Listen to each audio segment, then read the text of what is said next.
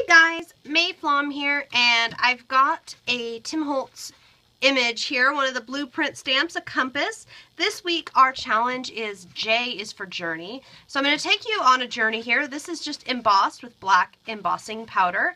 I'm going to take you into a journey of distressing and basically turning this into a card. So, to start off with, I've got my mini distress inks in these great little tins. I love the tins.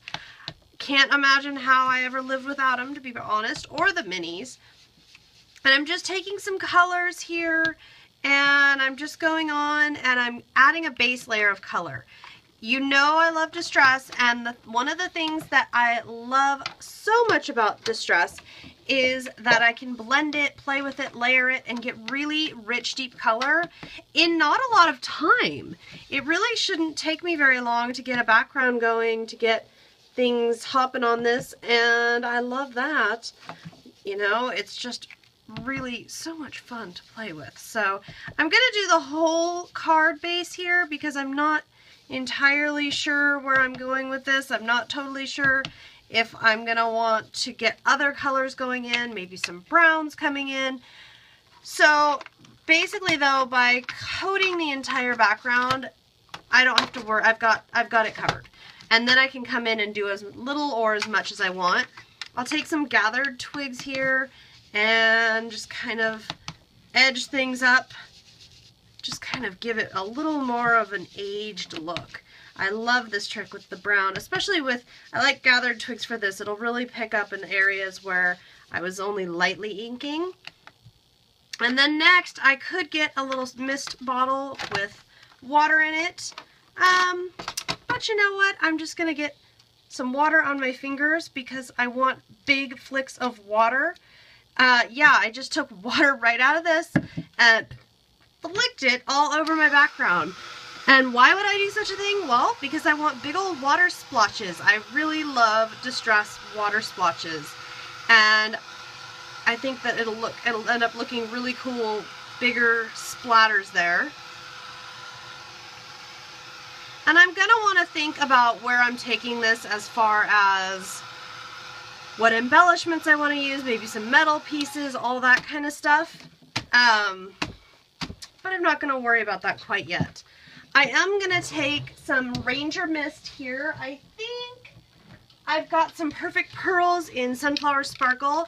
I love to add Sunflower Sparkle on my projects. It just is so much fun and I love the look of it. So we're going to do that. But first, I'm getting out my Tim Holtz stencils, and I'm looking for a stencil that will, oh, that I think will work good on this particular card. And it could be any of them. I love every single one of these stencils.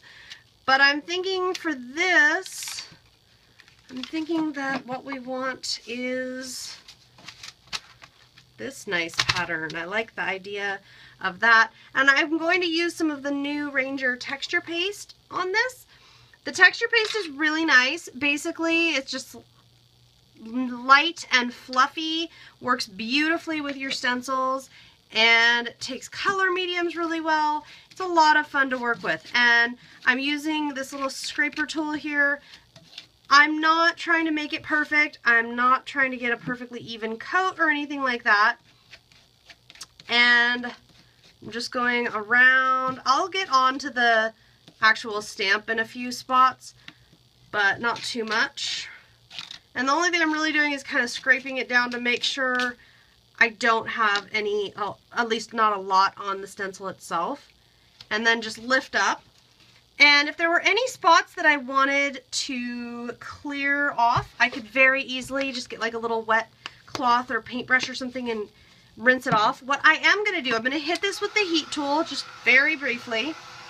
And then after I hit it with the heat tool, what I'm going to do, I'm just kind of trying to pick off if there's any paste on my surface for working here. After I hit this with the heat tool for a moment, I'm going to take a big Dina Wakley paintbrush and it's full of water. Well, not very, it's full enough of, full, full of water, but it's not leaking. And I'm going to run this down the card. And what is so much fun with this paste it will slightly smear what I did there with my stencil. It'll smear more the harder I push. It's also going to affect that background and I can go harder, like for example in the middle here where my stamped image is, I'm going to go a little more aggressively because I want to get rid of some of that. And then if I'm less aggressive in other areas, it won't do as much. For whatever reason, this works really, this is a technique that works absolutely fantastic with the paste. Uh, I think it just, it's hardy enough that it holds up. It doesn't just smear all over. You still can, you can do that with the brush and keep all of the wonderful texture and pattern. And I just think that is so cool. I love how that that looks. And now that we're doing this, I'm to go ahead and get my Perfect Pearls mist out here. I should only need like one squirt, but I might put two because I just, I love my Sunflower Sparkle. I can almost never get enough of that.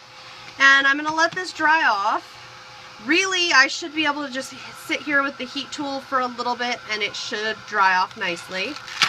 And once that's dried off, I'm going to want to get something going here with some metals and some other layers and things. And I'm also going to pull out my brown ink again.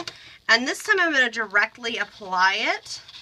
And look how great that works with the texture paste and with everything. It just goes right over there and it really will stick just to where it's the raised areas for the most part. And again, if I wanted, I could come in here with some water and kind of flick some water on there. I could also, if I had a squirt bottle of water, use that. It really depends, you know, what you're, what look you're going for, how you want this to work out. Now, for my card, I know I'm getting very messy, very mixed media, funky with my card here. One thing that I'm going to want to do is I'm going to want to get some metal embellishments going on on this. And actually, now that I've I've done this a bit, I'm going to want to get out this peacock feathers and do more peacock feathers on here. I feel like it needs a, another hit of kind of that beautiful peacock color. And I love these round blending tools for stuff like this because it's it makes it so, so easy to color and add depth, add layers of color without worrying too much about that hard line, that hard edge. Okay, I like that. And I'm not going to add more green. I'm going to leave the green as it is. I'm probably going to trim this down a little, stitch around the edge, and mount it. That's generally what I would do with something like this where I've got a card here that's uh, just got a lot going on to it and a lot of, it's going to have a lot of weight to it. It's got a lot of detail to it. Um, so, hmm, discoveries, authentic, I think authentic. We're going to go with authentic. And I'm dabbing this with some distress paint and a little heat to it, of course. So distress paint, I love. I love all the distress. I, I definitely love distress paint for decorating my metal embellishments. And the only thing you need to be careful about is that when you're doing this, if you're drying it off, you need to be careful that you don't grab the metal piece as soon as you think it's dry. But when you do think it's dry, or at least mostly dry, you can come in and I first go with the paper towel here to see if I can rub some off. So there's kind of a lot on here still. And then I'll go in with like a sandpaper block, whatever I happen to have handy, and I like this because it'll scratch it off of the surface, but not scratch the paint out of the letters. So the inside the letters will stay that lovely green. And I'm going to use the stamp to help me design my card here, to help me figure out where to put things. I've got my little, this is this little like circus tent little container. I love cute containers on my workspace. And I've got this, and it's full of metal bits and pieces. These are all metal bits and pieces that I've purchased over the years from Simon Says Stamp. Um, they have all kinds of fun, fun doodads and bits and things. So I'll just pick a couple out. And basically what I'm looking for here is I'm looking for the size of things and the shape of things And I'm not worrying too much about like, oh, well, this is really dimensional or this is not really dimensional. That I'm not going to concern myself with. I'm more going to look at, ooh, that's kind of cool. I'm more going to look at like the, uh, the general shaping of things and if things are a good match for what I want to do. And I like, I like where that's going a lot. So I'm going to glue everybody down here. And I think those are the three, although, ooh, now I see this one and I kind of like this one. Decisions, decisions. Do I like that one best? That one kind of takes over, but then I could go like that. Yeah, I think I like that. And I've got my PPA here. Love my Perfect Paper Adhesive. It will dry clear. It will be totally matte finish you won't see where it was. And I decided on this one over this one is because this wheel thing here is pretty flat and would work on a layout, scrapbook layout or other project. This one has more dimension to it, so it's going to be a little more limited in where it's going to work well for me. So a lot of times that's what I'll make my choices on when I'm going back and forth between a few things. Oh, although there's this one too. I'll pick based on, okay, well, what is this project that I'm doing and is there is there other projects that it would work better on? Is there something else that will work here that maybe wouldn't work well on other future projects? So that's kind of something I keep in mind when I'm working. And I'm going PPA crazy here. Getting all this stuff down. And it'll need a few minutes. When you first, because this is a very fluid liquid adhesive, when you first put it down, it's not to just automatically be just set. You know, everything's not to just instantly hold. It's to take a minute. So I'm to have jewels. You know what? We're to do a jewel. I'm to color it with some alcohol ink.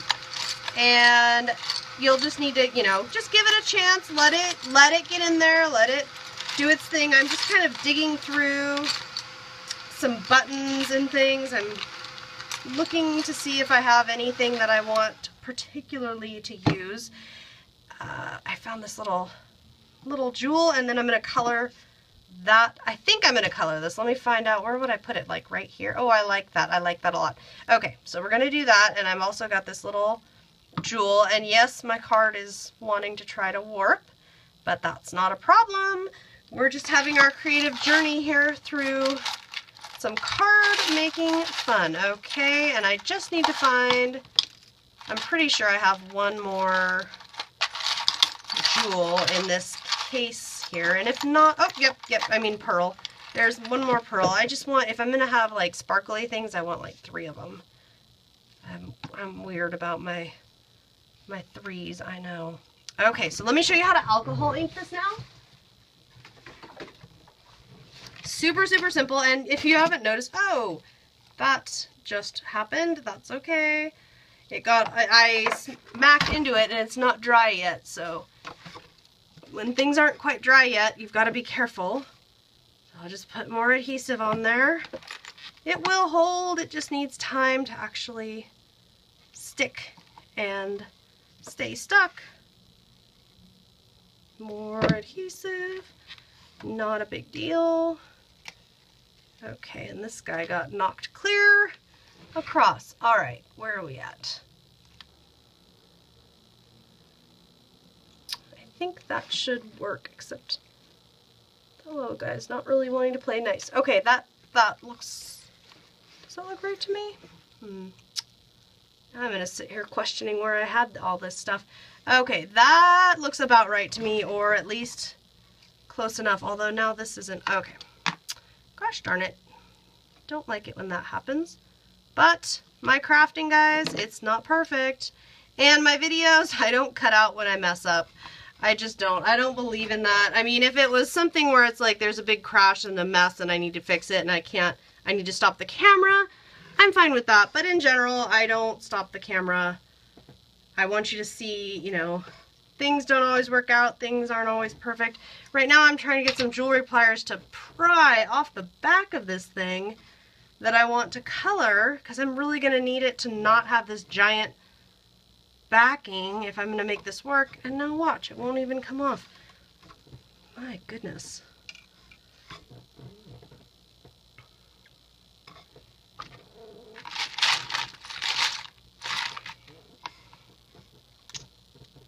So it won't come off, but here's the thing. I actually think it'll work out just fine.